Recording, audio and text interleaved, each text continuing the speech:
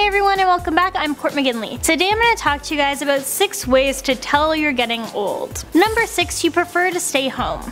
Now when you're a kid, you love to be out and about. On the weekends, most kids like to go play with their friends, go to the park, or play outside. Then, as you're a teen, you pretty much are never home. On weekends, the average teen is always out shopping, partying, going to the movies, or just out with friends. You pretty much only come home to sleep. Then you hit good old adulthood, and you cherish those nights in. They're rare and far between because with all of the work you do, you want to have some kind of a social life. But those special nights spent at home are important too and much needed at times. Number 5 hair in weird places. For men, a sign of getting older is starting to grow hair in some weird places that it never grew before. For example, you start growing hair out of your ears, your nose hairs are no longer short enough to hide inside the nostrils, but now they're popping out, and all of a sudden you have hair growing on your shoulders and back. Well, on the plus side, at least you're not going to get cold as fast. Number 4, you owned VHS tapes and cassettes. Now this one I'm grabbing from a personal experience. A few years ago, my little cousin came over and saw some VHS VHS tapes we had in the basement,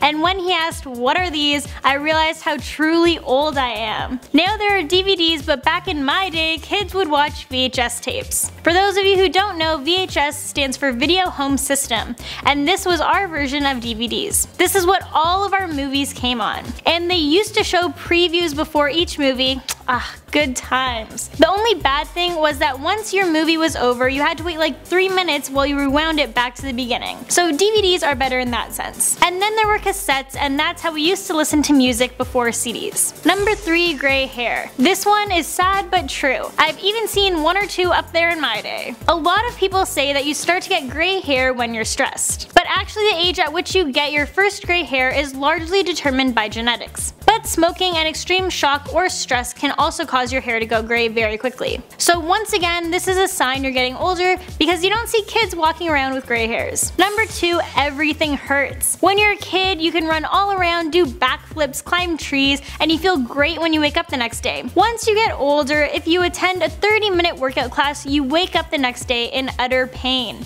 Everything hurts. And you just have to accept the fact that you're not a young spring chicken anymore. Then there's the fact that you say things like young spring chicken. That's another sign you're getting older. You use weird sayings that your grandparents probably use. Number 1. Wrinkles. Oh, the unavoidable sign you're aging. No one likes wrinkles, that's why there's all these creams on the market. And if that doesn't help, there's always Botox, which is becoming more and more popular as people just want to maintain a youthful look but it does come at a pretty high cost and that's why it's important to always take care of your skin when you're younger. And remember to always put on sunscreen because increased exposure to the sun is your face's worst enemy. Sure, you might get a tan, but your skin is going to age a lot quicker than it should. And when you're in your 30s, you're not going to be too happy that you have all of those wrinkles. Well, there you go, that's our list of 6 ways to tell you're getting older.